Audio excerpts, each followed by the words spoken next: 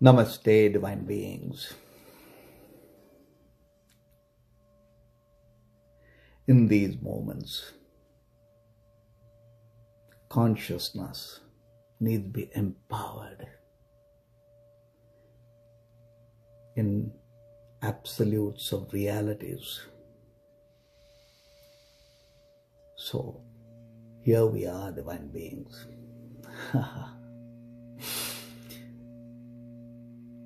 there is the five dimensions of wealth. The first is consciousness itself. And after a near death experience, for most, shifts the mind to a higher place of the spirit. So the experience in the moment is shifted the moment they've gone through a near death experience.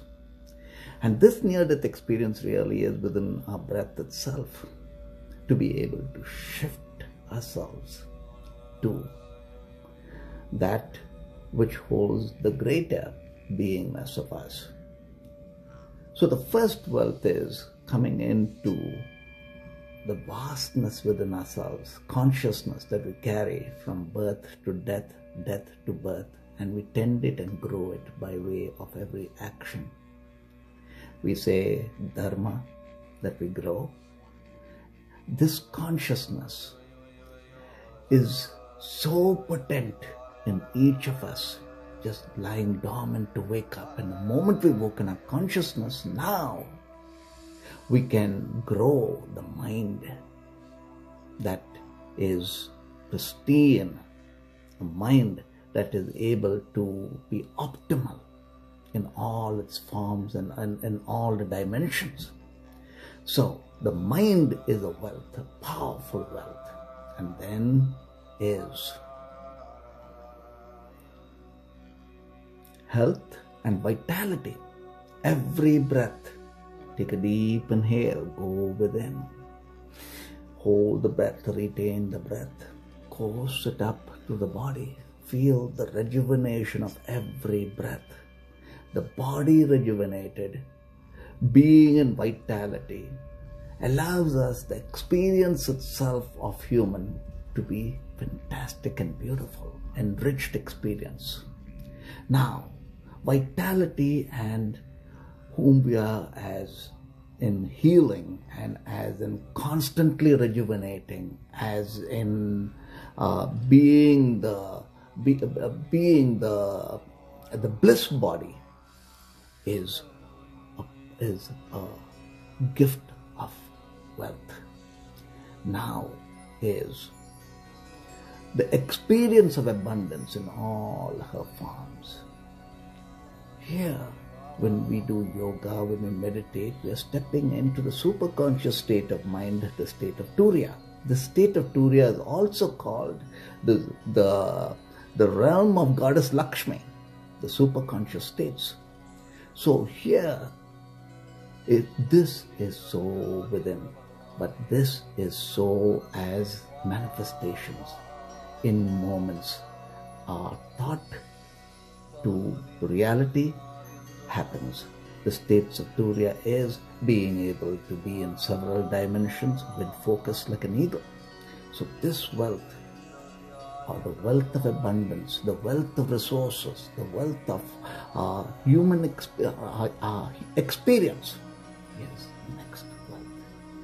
And the most important, the fifth wealth is at all times being the epicenter, being the core, being the sun awake at all times all that the life, all in any any any dimension, any realities that comes to us. We are able to embrace it and still be the core epicenter of light. This is tapas. This is the sacred fire that begins with bhakti and ends with bhakti. Bhakti is divine love. Be gratefulness to that divine love that is within us to source connect at all times. We're given ups and downs in life to source connect. to get into this bhakti fire. This core now generates the consciousness, the first of the wealth, to be to blossom the pristine mind. And this pristine mind has is is uh, the, the the light, the bliss of the body and health, and this as realities and abundance in the goddess Lakshmi forms of eight, uh, all these dimensions beginning with uh, health, family, harmony, love, um, uh, uh, the light of uh, the, the light of recognition, uh, all of these abundances shines through us as yoga.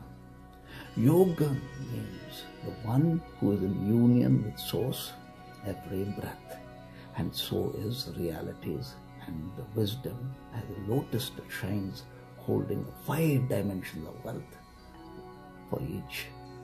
So divine being, Om Namah all of this